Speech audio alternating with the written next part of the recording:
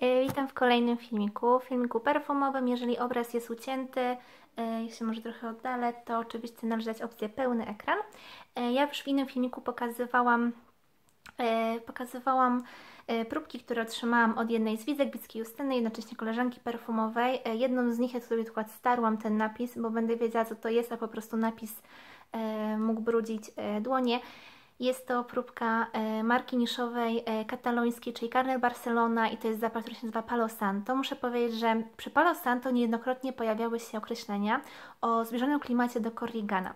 I na tej podstawie w ogóle byłam zaciekawiona tym zapachem, jako takie właśnie kremowy, słodkawy, z nutą takiego słodkiego ryżu, e, dlatego że korigan to jest taki ryż, słodki ryż z mlekiem, taki mleczno-ryżowy klimat, jednocześnie tam jest nuta whisky, jest bardzo ciekawy.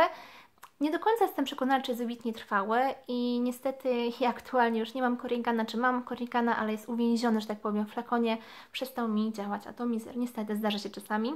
Czasami się po czasie sam odblokowuje. Zobaczymy. I niejednokrotnie wspominano o podobieństwie Palo Santo do Korigana i to powodowało, że ciągle miałam ten zapach gdzieś z tyłu głowy, wiedziałam, że go w końcu muszę sprawdzić. E, I Justyna wysłała mi próbkę i muszę powiedzieć, że Justyna właśnie już wspomina, że według niej one nie są podobne, i dla mnie one też nie są podobne. W sensie, ja bym w ogóle tego z Korriganem nie pokojarzyłam. E, dla mnie Korrigan jest taki słodszy, cieplejszy, e, jest jednak inny. Jest, jest, idzie bardziej w stronę taką słodko-ryżową, mleczno-rumową, no nie rumową, whisky. Natomiast Palo Santo się bardzo, ale to bardzo zmienia. Jest taki motyw początkowy, taki z czegoś ostrzejszego, takiego właśnie korzennego, przyprawowego. Jednocześnie ma w sobie taką właśnie mleczność. Momentami budzi skojarzenie z takim właśnie, że tak powiem, mlecznym ryżem, z takim trochę budyniem jasnym.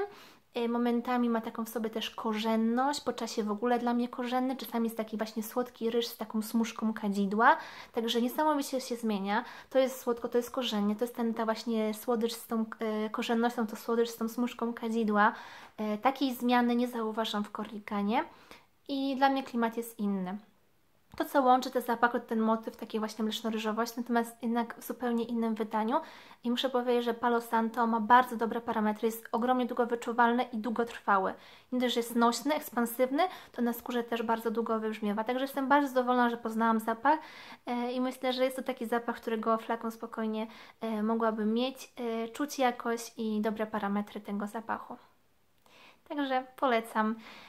I ta korzenność może budzić skojarzenia z takim właśnie klimatem, właśnie takim trochę